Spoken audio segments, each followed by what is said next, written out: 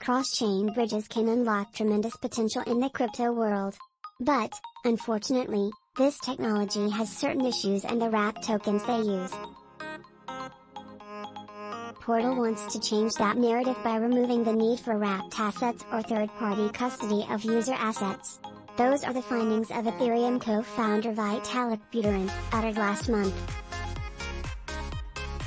There is a good reason why Buterin uses harsh language, as cross-chain bridges are prone to 51% attacks. When such an attack occurs, hackers and other culprits control the system and can defraud users. Although a 51% attack is not a permanent problem, attackers' possibility to steal funds needs to be nipped in the bud. These bridges wrap and lock funds on other chains to facilitate transfers in their current form. It is an elegant solution, although one that introduces unnecessary security concerns. More specifically, the wrapping and locking aspect isn't decentralized or trustless. Additionally, that approach can lead to security incidents, such as the ones affecting multi-chain, Thorchain, P-Network, Poly Network, and others. Staghead crypto head Neil Player adds, cross-chain bridges present a unique set of security risks and these types of exploits are not a surprise. It is a reminder how bleeding edge a lot of the applications that run on top of blockchains are. Exploits such as what occurred on Wormhole are expected to cause growing pains as the technology and techniques associated with bridging assets matures. The Poly network attack made headlines as it is the largest hack in the decentralized finance space to date. Roughly $600 million in assets were stolen, and later returned, thankfully, confirming the vulnerability of these cross-chain bridges. Sadly, Wormhole lost 120,000 Ether, or over $320 million due to insufficient validation protocols for Guardian accounts. Unfortunately, too many security incidents involving these bridges warrant much optimism.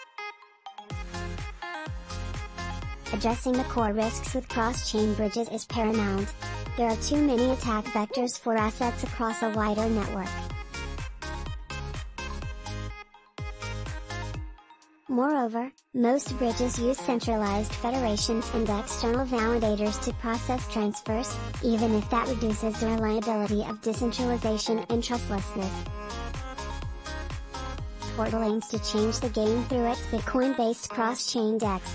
It does not use wrapped tokens or third-party custodial solutions.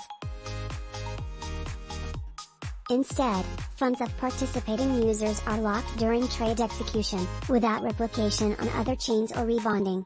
Transactions occur via peer-to-peer -peer atomic swaps, letting users trade layer 1 assets without delays, exploits, or blocked funds.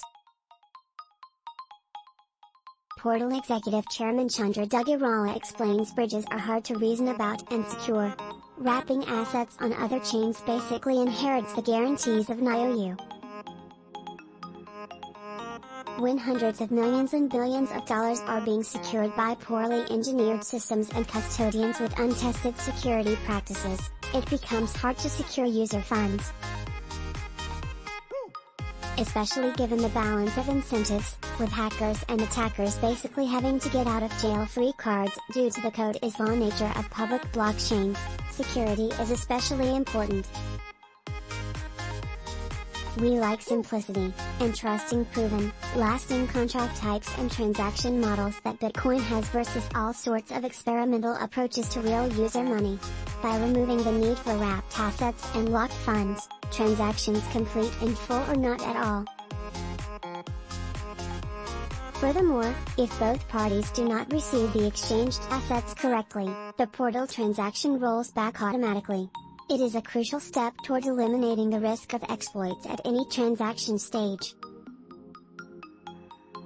All transfers are anonymous and leverage zero-knowledge technology, making DeFi a more appealing concept than relying on ineffective, hack-prone cross-chain bridges.